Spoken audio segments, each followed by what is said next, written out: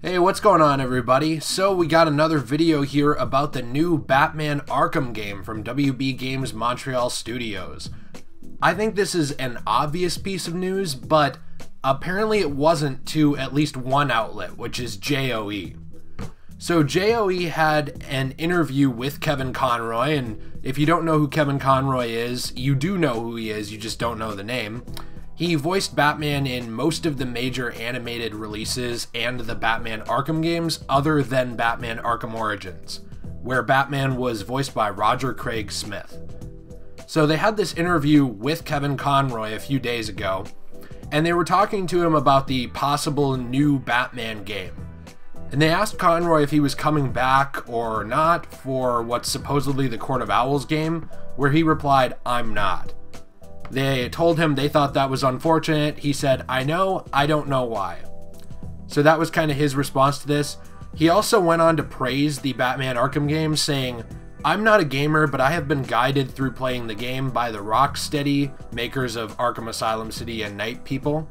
And boy, it is spectacular. I can see why people are so addicted to them. The feeling of flying through Arkham with Batman is just incredible. So here's the thing Kevin Conroy has been the definitive voice of Batman pretty much since the animated series of Batman launched way back in the original DC animated universe. So, yeah, when people originally found out that he wasn't going to voice Batman in Arkham Origins, that was disappointing. That said, Roger Craig Smith did a really good job playing the character. He sounded like a much more young, inexperienced, not grizzled version of Batman, which is what he was supposed to be. This was Batman about one year or so into his career. Uh, he was still kind of finding his way, and it made sense to not go with Kevin Conroy at the time, even though outwardly it didn't, because they were going for this different take on the character who wasn't nearly as old as the Batman Arkham Knight, Arkham Asylum, or even Arkham City versions. It also makes sense that Roger Craig Smith would be back because this is a sequel to the game that he played Batman on. That means that this is very likely taking place sometime in the years following Origins before Asylum, so it would make sense that his voice hadn't changed as much to sound like Kevin Conroy yet. We also had the tweet from Roger Craig Smith back on September 10th that we had reported about, where he said, Super bummed to not be working on anything that I can't tweet about right now because I can't violate an NDA for something that I assure you does not exist and isn't a video game. Where Ryan Galetta responded, Even worse to me, I can't not tweet about the non existent confidential project that we're not working on together with a sad crying face. Where Gary Mirano responds, Your publicist thanks you and promises we'll let the cat out of the bag reasonably soon.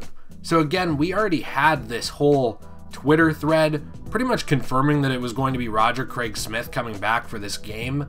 I'm not really sure why this would be a surprise to anybody. I get if you love Kevin Conroy, I do too. He really is that definitive voice of Batman for probably an entire generation growing up with the cartoons and games.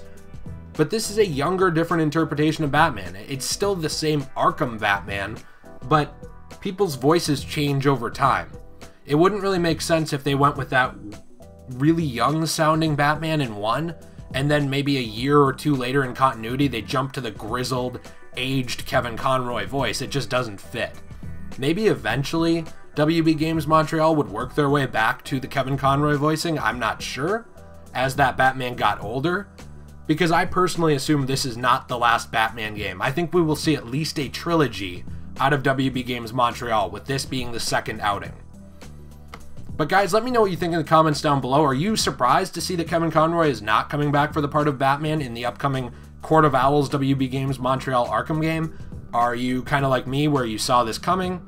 Let me know what you think in the comments down below. If you enjoyed the video, please leave a like and subscribe for more content. We cover lots of Batman, DC stuff, uh, Marvel, superheroes, films, and games over on the channel, along with toys and comics, and we'd love to have you along for the ride. We'll see you in the next one. Peace.